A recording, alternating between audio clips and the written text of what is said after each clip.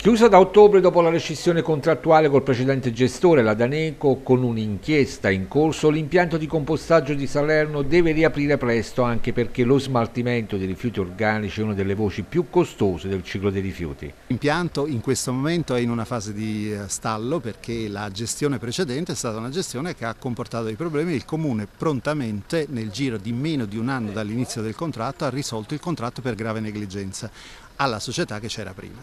La grave negligenza poi si è tramutata nel verificare che all'interno dell'impianto c'erano molti più problemi di quelli che ci potevamo aspettare da una visione così esterna. Salerno Pulita è chiamato oggi alla manutenzione dell'impianto con un finanziamento di 5 milioni di euro arrivato dalla Regione Campania per ampliarlo su richiesta del Comune.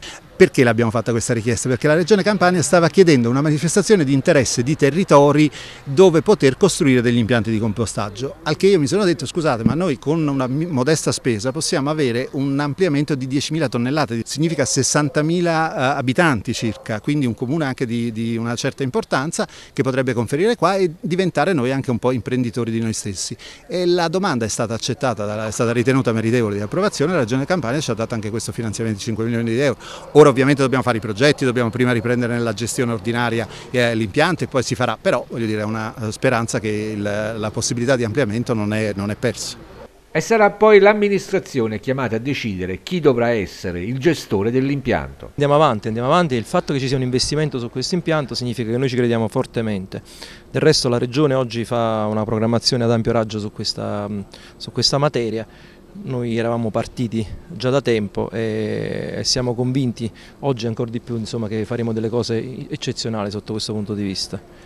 Dopo la Daneco eh, c'è la, la, gestione diciamo, del comune di Salerno con Salerno Pulita, sarà questo il futuro di questo impianto come gestione? Noi andiamo per, per, step, per passi, vedremo nel corso del tempo se eh, Salerno Pulita sarà in grado o meno di, di gestire al meglio questo impianto. Eh, il nostro interesse è che l'impianto funzioni al meglio.